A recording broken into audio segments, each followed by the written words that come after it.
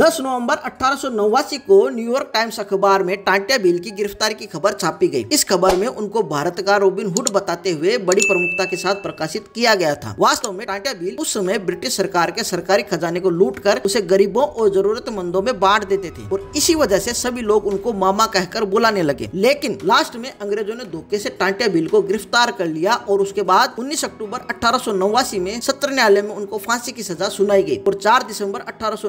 को उन्हें फांसी दे दी गई इसके बाद ब्रिटिश सरकार भील विद्रोह भड़कने के डर से इतना डर गई कि उन लोगों ने टाटा भील को फांसी देने के बाद उनके शव को इंदौर के पास खंडवा रेल लाइन पर पाताल पानी रेलवे स्टेशन के पास छोड़ दिया इसीलिए आज भी मध्य प्रदेश में पाताल पानी रेलवे स्टेशन के सामने से गुजरने वाली हर ट्रेन यहाँ स्टॉपेज न होने के बावजूद भी दो मिनट के लिए टाटा भील के सम्मान में यहाँ रुकी है और उसके बाद फौरन देते हुए वापस चल देती है